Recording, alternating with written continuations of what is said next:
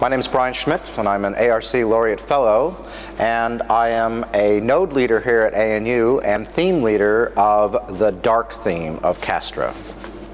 I always like asking big questions, and the big question for me when I came to Australia was what is the ultimate fate of the universe?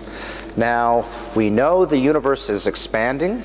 That's something Edwin Hubble did in 1929 and we suspected that the universe should be slowing down due to gravity. Now, gravity in the universe, from all the way back to the 1930s when Fritz Zwicky started looking at how much gravity there was in the universe compared to how much light, we always had this idea of dark matter. There was always missing stuff. We could see its gravity, but we couldn't see it.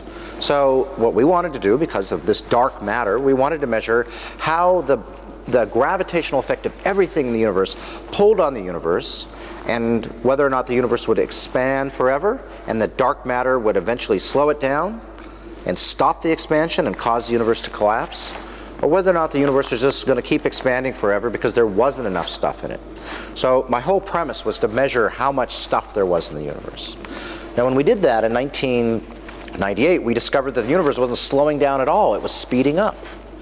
And so that meant not only was there dark matter, which we could see from galaxies, motions, and stars' motions and galaxies, we had a universe full of something else dark energy.